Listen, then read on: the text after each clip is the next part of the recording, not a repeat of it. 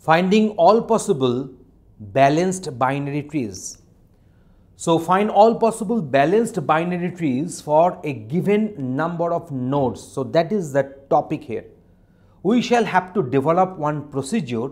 The name of the procedure let it be balanced underscore tree which takes two arguments which finds all possible balanced binary trees for given n number of nodes. So if we issue this respective goal and where 4 is the value for n and x is the written in capital letter that means it is a variable then with 4 number of nodes we can have this 4 distinct balanced binary trees. So those balanced binary trees will get output will be output of this respective goal. And if we pass this 7 then there is only one possible balanced binary tree with the value of 7 here. So that is why this balanced binary tree will produce this output like this. So this output is corresponding to this one. Let me explain one of them. So here we are having this x as a root. So this x is being denoted this one and it is having x nil nil that means x is the root left child and right child is absent.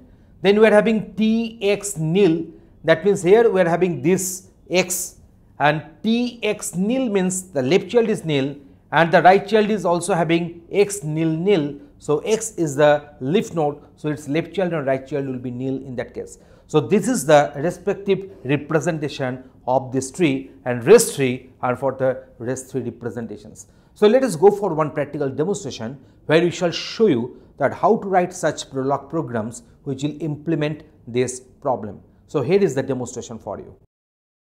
So in this program, we have shown you that how to get all possible height balance trees for a given value of number of nodes.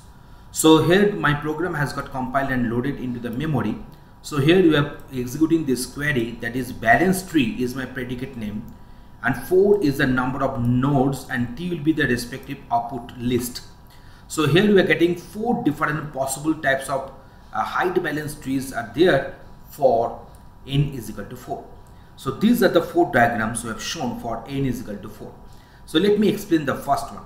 So here we are getting this one as x will be the root node. Yes, x is the root node here and it is having a left child which is the x and the it's it is a leaf node it is having no further children so x is the left child and it is a leaf node and it is a right child is there that is also x and its left child is nil and the right child is containing another leaf node that is our x. So in this way this is the other one and other three structures are actually depicting other three versions of the height balance tree when the n is equal to 4. So if we execute the same query but changing this value of n as 7 we know that we are going to form a tree like this. So it is having only one possible solution. So in the last uh, layer I'll be having four nodes. In the next to the, that we'll be having two nodes and this is the root node. So we are having seven nodes are there. So for it i'm going to get a single solution out of it. So i'm going to get a single solution in this way. Okay now let me discuss my program at first. So balance tree if value of n is equal to 0 that means we are getting a null tree there balance tree n so n is the number of nodes and we are getting this tree as output when x is the root node and L is the left subtree and R is the right subtree. Value of n must be greater, greater than 0 because value of n will be equal to 0 and for that we have already written one given rule. So n0 is equal to n minus 1 and n1 is n0 integer division by 2 and n2 is equal to n0 minus n1 we are writing this one because we know that one node will be going for the root node. So remaining number of n0 number of nodes will be divided for the left subtree and the right subtree. Okay.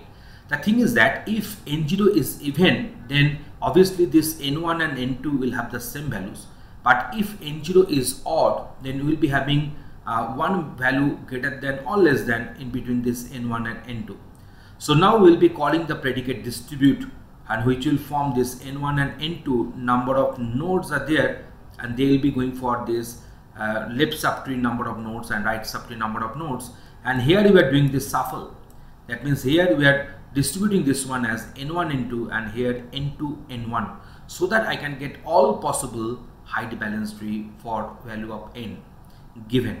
Okay so here we are calling this balance tree this particular clause we are calling recursively and where nl will produce a left subtree l which is there and this nr will produce nr number of nodes will be there in the right subtree and which is the which is output here. So in this way we have written this code and we have executed this height balance tree. This balance tree 7 comma t we are getting only one solution but balance tree 4 comma t we are getting this one as four different solutions are there in this way we have explained our code and we have executed the, our code for the better understanding. Thanks for watching this